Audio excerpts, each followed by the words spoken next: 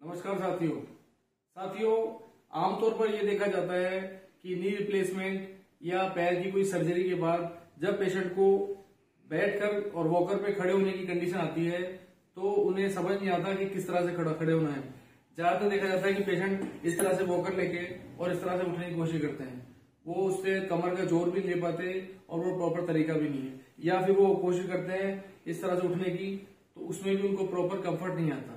तो मैं आपको बताने वाला हूँ कि प्रॉपर जो तरीका है उठने का उसमें आपको किस तरह से उठना है। ये ध्यान रखें कि जब भी वॉकर पे खड़े होना हो तो एक तो वॉकर का जो हाइट है वो हाइट हमेशा ये ध्यान रखें। इतना होना चाहिए ताकि आपके एल्बो स्ट्रेट भी ना हो और इतना ऊपर भी नहीं होना, नहीं होना चाहिए कि आपके एल्बो बिल्कुल बैंड हो जाए। ये इतना होना चाहिए कि आपके एल्बो थोड़ी सी बैंड हो हल्की सी।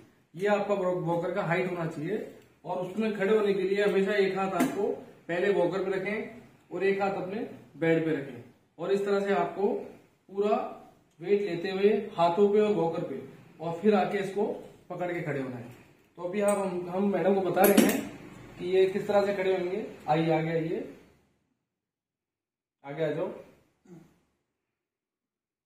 अब इस तरह से जैसे मैडम ने अभी नी रिप्लेसमेंट कराया है तो इसके बाद इनको हम जो स्टैंडिंग सिखा रहे हैं वो इस तरह से है कि एक हाथ वॉकर पे रखना है एक हाथ आपको बेड पे रखना है।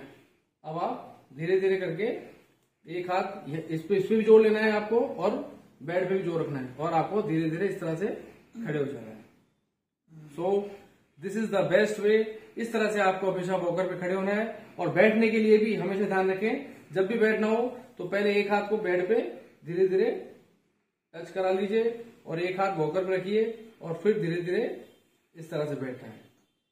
Thank you